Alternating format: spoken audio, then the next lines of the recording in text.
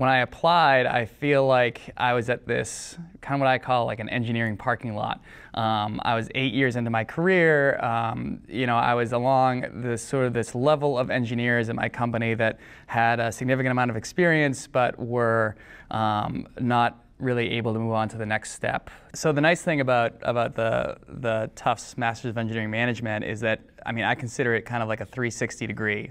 Um, it's not just a technical degree. It's not just the type of, of degree where you, you come out like a, if you were to get a master's of engineering where you can um, describe sort of an engineering principle more. I consider it a 360 philosophy because it gives you engineering background, it gives you strategy background, uh, but it also gives you um, some great, actually amazing leadership tools. 21 months. You, know, you start at the end of August and you end in May.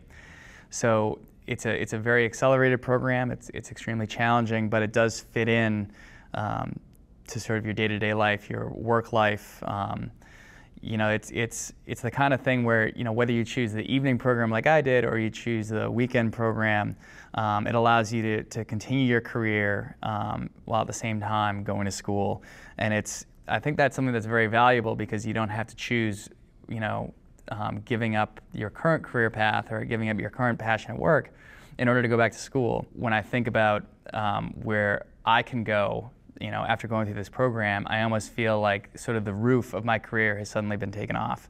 There's there's so many opportunities that I would feel um, not only qualified but confident to enter purely by um, the skills that I've learned, you know, within the Tufts program.